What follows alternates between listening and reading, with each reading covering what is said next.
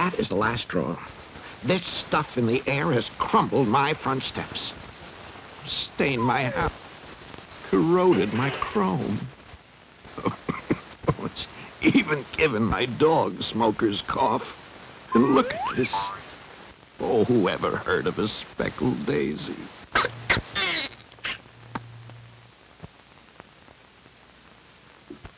Hey, you over there, stop it. I said stop it. Turn off that... well, I don't have to put up with this sort of thing. I'll just march myself over there and...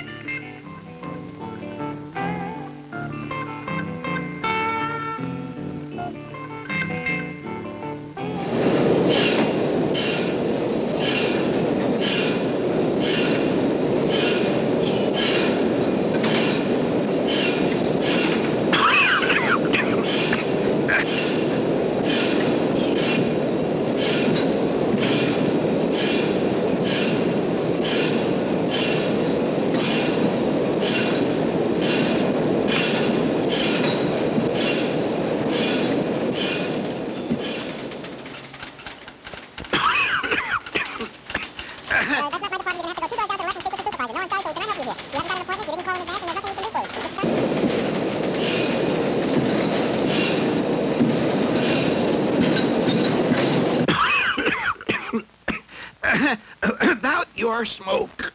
Smoke? No, thank you. I understand it's bad for your health. But you go right ahead if you wish. Uh, no, no, no, no. The, the smoke from your factory, it's destroying my home, my, my health, my... Well, we, too, are concerned about that pressing problem. Here, let me show you some of our ads on air pollution. They prove how clean we... Oh, come on. Just look out the window. Uh, please. Now, we are a very community-minded firm and greatly concerned with air pollution.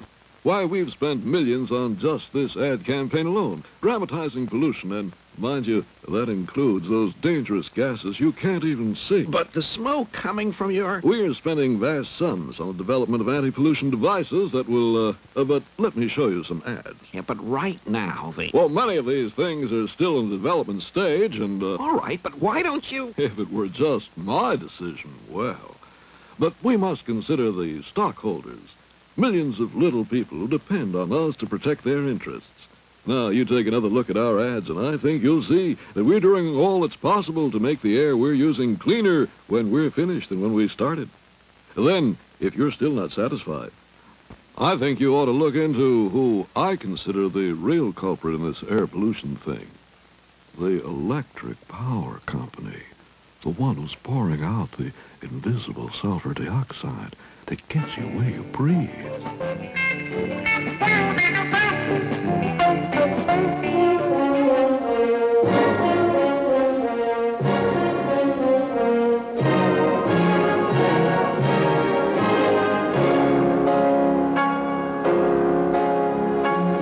Please, you're getting soot on my jacket. That soot's from your big smokestack. Yes, and that's the reason we built it so big, to carry the soot away. There's really no reason, my dear fellow, for you to bring any of it back. If we had any use for it, you can be sure we wouldn't be giving it away. That's what I want to talk to you about. The soot's falling on my house. It's making my throat burn. And who knows what the invisible junk is doing to me. I, I can't breathe. Please control yourself. Now, it is possible, just just possible, mind you, that every now and then a little teensy-weensy bit of smoke might get into the air. But we are a public utility, and the public, which we faithfully serve, is interested in power, not pollution. However, as a public service regulated by the Public Service Commission, we recognize our responsibilities, and we are taking great pains always keeping in mind economic realities, of course, to send forth air as clean as our electricity. Now, I don't want to tell tales out of school, but uh, everyone knows the real cause of air pollution.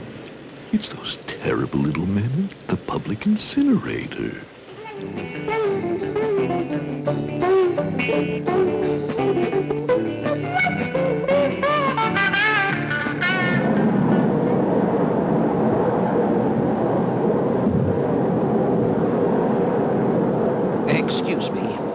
I talk to about all that smoke and soot coming from your incinerator? And not me. Talk to the plant engineer. Talk to the division superintendent. Call the Smoke Pollution Control Board. What'll they do? They'll call the Department of Sanitation, who will notify the... Yes, but who'll do something? Don't look at me. I just burn garbage. Now look, Mac, you can't just do something. There's some regulations, priorities, channels, procedures, budgets, responsibilities.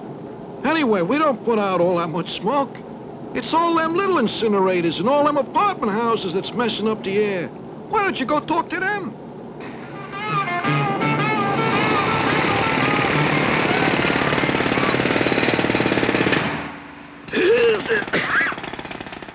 Is this your building?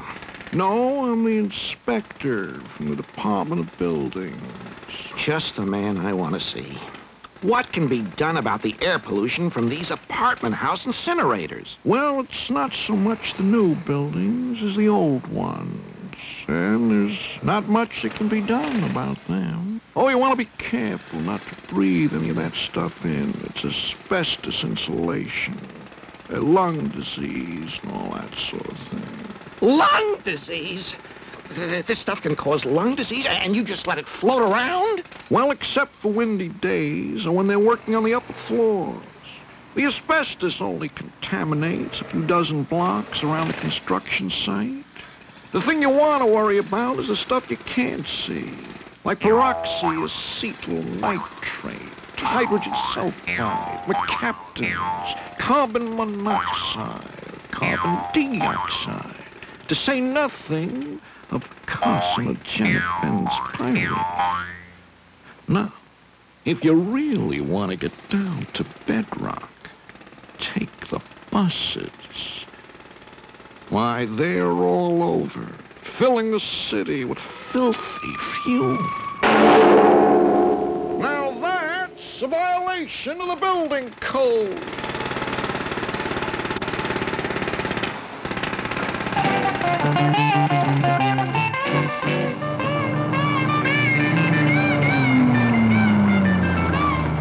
Take me to your leader.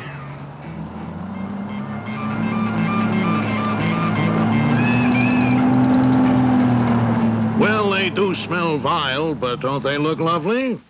Now that we've got all that pretty advertising on the outside. hey, if you're concerned with air pollution, go talk to the car manufacturers. Beautiful, just beautiful. An American symbol of power, speed, manhood, status, and conspicuous consumption. bumper to bumper, as far as the eye can see. Which isn't very far with all that haze. Another blessing of the American automobile. Hides all those ugly junkyards and hideous roadside stands and signs. Yes, but it's also burning my eyes, wilting my wisteria, and poisoning my parakeet. Now, just a minute there, son. Are you accusing my beautiful little baby of... of bad breath? What's the matter with you, anyway? Everybody loves the automobile. It's as American as frozen apple pie. Are you some kind of nut? A pedestrian? Uh, no, no, I, I drive a car. I uh, ju- just just want to be able to breathe. Oh, I get it. One of them nature lovers. A conservationist. Well, let me tell you something. The pollution isn't our beautiful baby's fault. It's your precious sun that changes the exhaust into poison gas. But listen, boy, if you are so big on your crusade, I'll tell you where all the filth in the air is really coming from. What? That's where I started. Excuses, excuses, excuses. Every one of these people fouling the air and passing the buck. Somebody's got to do something. And you, Fenwick Hack, are going to do something. Tonight, you're going to... Uh, uh, uh, uh, uh no, not, not, not tonight. Uh, tonight's bowling, see? Tomorrow, Fenwick Hack, at the hearing on proposed air quality standards for this region, you're going to stand up and demand no leaf burning, no backyard incinerators. Uh, well, uh, I've got this uh, little backyard incinerator, and... Yes. well, the uh, day after, you're going to sit down and write your legislator and uh, say... No, no, I, I see, I'm really not much of a letter writer. You got the wrong guy there. In fact... Uh, on election day, you're going to vote for the proposal to... Well, I don't know. I, I've been reading in the papers where that sort of thing is liable to raise taxes. Well, heaven knows. I'm doing enough to fight air pollution now. Close the door! All that filthy air! Poor Hack. Frustrated, bewildered, cinders in his eyes, soot in his hair, and a concoction of noxious pollutants in his lungs. But like so many of us, he is too occupied, too busy to really do something, to participate, to take action. This is the barrier to a healthier environment. I'm Senator Muskie, and I share with you a citizen's portion of air pollution and a deep concern for the problem. The scientific solutions to the problems of air pollution are available to us. There are formulas, plans, technical knowledge, medical information, and engineering skill. We have them already at work to help reduce the problems. Others are awaiting trial and proof. But of all the ingredients necessary to lick the problem, public involvement and committal are the most vital elements. Without your active participation in the fight, there is no fight, just surrender not only to air pollution, but to many of the other problems facing society. And also at stake is the heritage of every American, the right, the responsibility to participate in government. Citizens' action is essential in a democratic society. When a Mr. Hack or a million Mr. Hacks ignore their rights and obligations as citizens, the job falls on the shoulders of an overworked bureaucracy. Air pollution is not to be controlled by somebody else. It is your problem and mine, and we must act together as individuals in our community. We must join with local, state, and national legislators to determine the facts of dirty air. We must establish standards for clean air that will protect our health. Hack's adventures in his search for the responsible sources are not all fantasies. As our industries move ahead to meet the demands of progress and production, as our society consumes more fuel, uses more gasoline for transportation, injects more chemical compounds into the atmosphere, more particulates and sulfur oxides, there is more need to be aware and alarmed.